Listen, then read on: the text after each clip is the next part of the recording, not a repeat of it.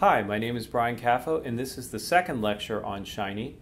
In this lecture, we're going to talk a little bit about reactive expressions, and you're going to code a Shiny app that actually uses reactive expressions. So up to this point, we've done a little bit by creating an interactive graphic, but we need to go a little bit further so that our server calculations are more complicated and can do more meaningful calculations from our input, spit out more meaningful results, do more interesting graphs and that sort of thing. And that leads us to the topic of reactivity. So a reactive expression is basically um, like I like Sean put it here, it's like a recipe that manipulates inputs from Shiny and then returns a value. And it introduces some slightly unorthodox R coding. Of course, it's all proper R code, but nonetheless, it introduces some slightly unorthodox R coding because of the, the specific intricacies of Shiny itself.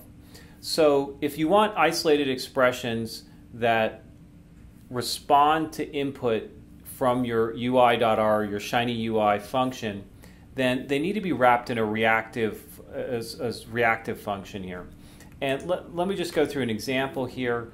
If I have two input boxes, uh, one labeled box one and one labeled box two in my in my Shiny server function, okay, suppose I want to just add the results from box one and box two, and I want to assign that to a variable.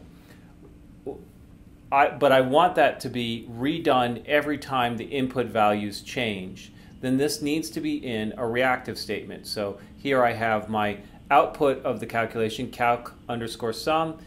It's assigned reactive, and notice there's these slightly unique notation here, again, where we have both the functional parentheses there, but then also this curly braces that has to uh, uh, uh, contain the reactive statement. So remember to do that, and then remember, of course, to close everything.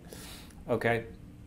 And then that we put in input box input dollar sign box one plus input dollar sign box two. Now this calc sum, that variable well, it's not a variable, it's actually a function, will actually adapt as we input the, the new values into box one and box two. And we'll go through a coding example in a little bit. And here you can, you can see that to, to reference calcsum later on, you're going to reference it as a function.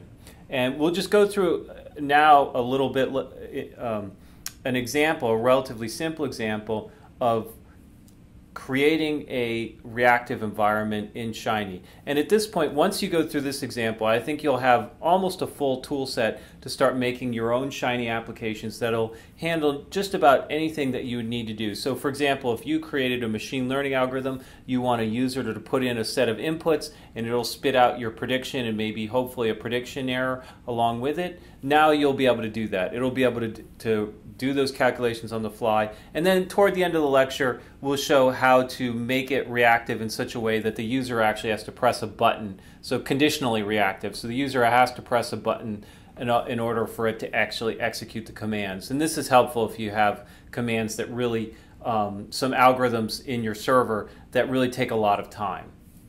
Okay, so let's, now we'll go through the code demonstration where we're going to use a lot of reactive expressions.